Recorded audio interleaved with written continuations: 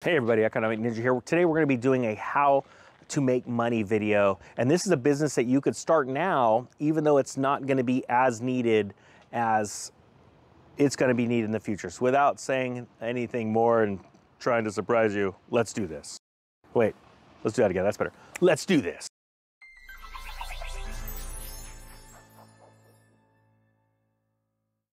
Okay, everybody, I thank you so much for being with me. Uh, I want to talk about a business that I think is going to flourish here pretty soon. And I've done it myself, actually, and that was owning a cleaning business.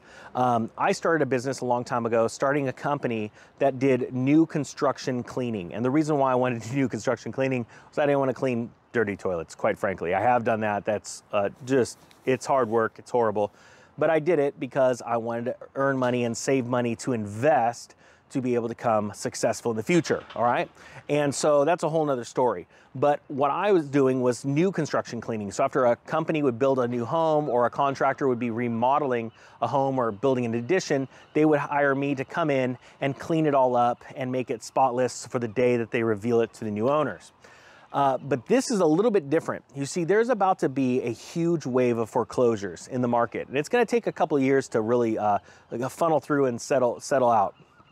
And so one business that is going to be absolutely booming is the uh, the foreclosure industry, where banks are having to take uh, homes back from people that were in forbearance that could not pay their mortgages. And quite frankly, it's a very sad thing, but this is one thing that you can actually be blessed with and start a business that could really grow because one thing those banks need, and we're talking about cleaning and junk hauling, uh, banks are going to need people to come in immediately in a timely manner with a dump trailer, take all the possessions or whatever's left from when the people left, take it, haul it to the dump, and then clean the house and get it ready for uh, marketing. Now, there's a couple different ways of making money in this, which is really neat. One way is obviously to clean the house and get paid to clean the house.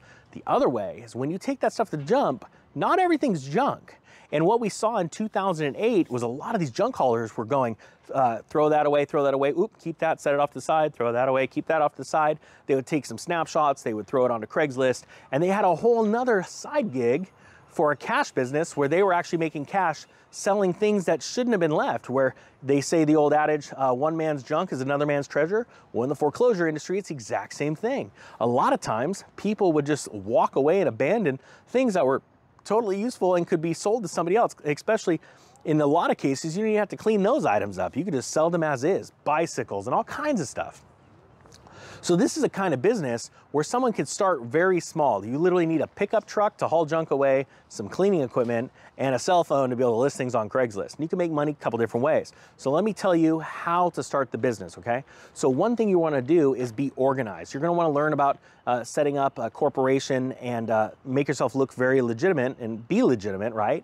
And uh, a corporation, a corporate name, is very good when it comes to banks and dealing with real estate agents. They wanna know that they're doing business with a real business. Now, you don't have to be incorporated. You could be doing a, a DBA, doing business as, um, and have your business license with your uh, local jurisdiction, your city or county. Um, but corporation, by and large, does help out, and it does help protect you in certain legal instances.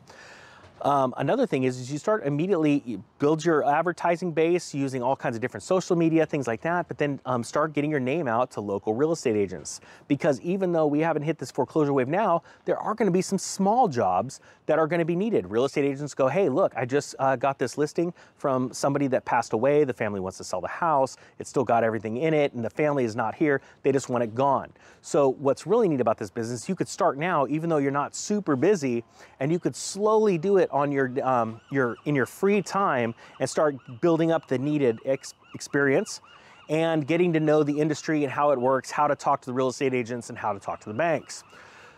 So I think this is an awesome opportunity for people to start a business that is going to be slowly ramping up because that's the one thing that's really hard for a lot of businesses. Sorry guys for the sounds of the birds, place is going crazy.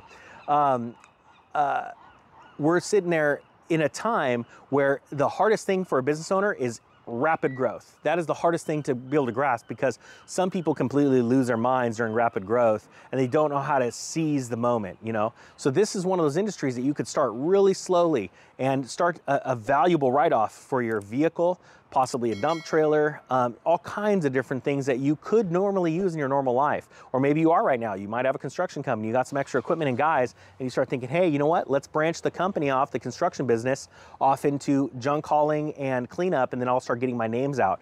So I know right now there's a lot of contractors going, bing. So, all right, guys, that being said, I thank you so much for your time. I hope you like this segment. If you do, please hit the thumbs up, hit the subscribe button. The Economic Ninja is out.